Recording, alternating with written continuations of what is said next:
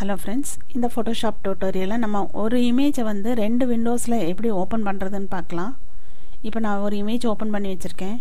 விண்டோவில் போய் arrange select பண்ணிவிட்டு இங்கே கீழே இருக்கிற new window for image select பண்ணால் உங்களுக்கு சேம் இமேஜ் வந்து பாருங்கள் இந்த ரெண்டு விண்டோவில் ஓப்பன் ஆகிருக்கு எகெயின் நீங்கள் விண்டோவில் போய் அரேஞ்ச் செலக்ட் பண்ணிவிட்டு இங்கே டூ அப் ஹரிசாண்டல் கொடுத்தா உங்களுக்கு இந்த வியூவில் பார்க்க முடியும்.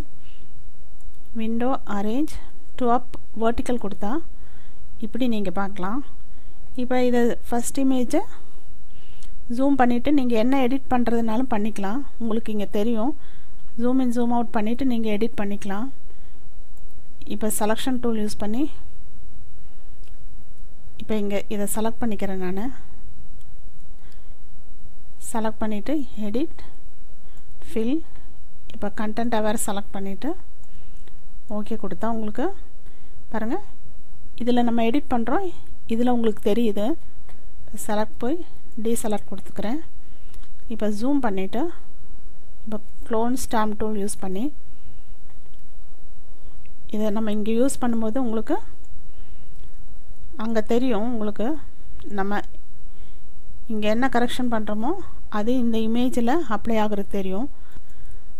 ஸோ இந்த மெத்தடில் நீங்கள் என்ன இமேஜில் கரெக்ஷன் பண்ணாலும் அதை ஈஸியாக அதை எப்படி அப்ளை ஆகுதுன்னு பார்த்துக்க முடியும். ஸோ ஃப்ரெண்ட்ஸ் இந்த ஃபோட்டோஷாப் டூட்டோரியல் உங்களுக்கு புரிஞ்சிருக்குன்னு நினைக்கிறேன்.